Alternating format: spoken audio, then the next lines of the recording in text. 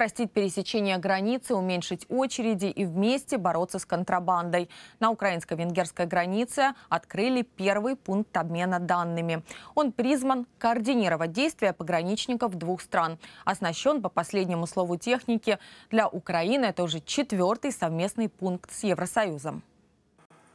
В эту небольшую комнату попадает информация о ситуации на всех пунктах пропуска на украинско-венгерской границе. Специалисты ее анализируют и используют для координации действий пограничников двух стран. Кроме того, отвечают на запросы от граждан.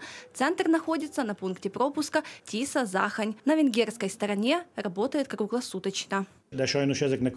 Пункты пропуска не всегда справляются с той нагрузкой, которая есть. И как следствие образуются очереди. Специалисты нового контактного центра будут перенаправлять машины на другие пропускные пункты, где срок ожидания меньше.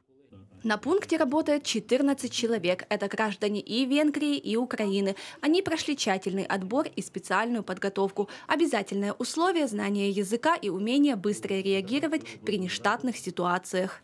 Це в десятки разів зменшує час. Поки Это в десятки раз сокращает время, пока бы запрос прошел все инстанции, а так на него реагируют немедленно. Наш специалист переводит запрос на украинский и докладывает начальнику для принятия того или иного решения. На границе с Венгрией это первый подобный центр. Он уже показал себя в действии. В тестовом режиме работал с Нового года Але дійсно це історична подія. Чому Это историческое событие, потому что это первый совместный контактный пункт между Украиной и Венгрией. Этот пункт, благодаря помощи Европейского Союза, очень хорошо оснащен. С украинской стороны это четвертый контактный пункт на границе с Евросоюзом.